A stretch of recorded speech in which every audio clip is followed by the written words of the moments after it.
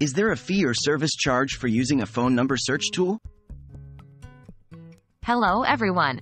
In today's video, we are going to talk about phone number search tools, specifically the costs or service charges associated with them. This is an important topic because these tools can help us identify unknown callers, track spam numbers, or reconnect with lost contacts. What are phone number search tools?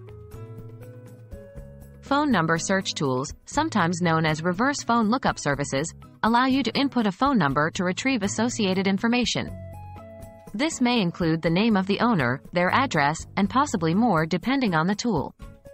Some people use these tools to identify unknown numbers, locate spam callers, or find out who a mysterious caller might be. Are phone number search tools free? The cost to use phone number search tools can vary greatly. Some of these tools can be used for free, but they may only provide basic information such as the carrier or general location associated with the phone number. Comprehensive or detailed results such as the full name, address, or more specific information often require a fee or subscription to the service. Why do some services charge a fee?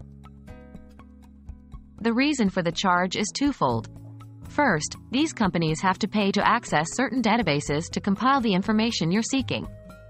Second, they spend resources to maintain, update, and ensure the accuracy of the data. These are the primary reasons why a fee or service charge is often necessary when using a detailed phone number search tool. In summary, while there may be some free options for basic phone number lookup, obtaining detailed information generally requires a fee. It's up to you to evaluate the cost versus the benefit of using these services based on your individual needs. Thank you for joining us in this video. We hope it's given you some insight into the costs involved with phone number search tools.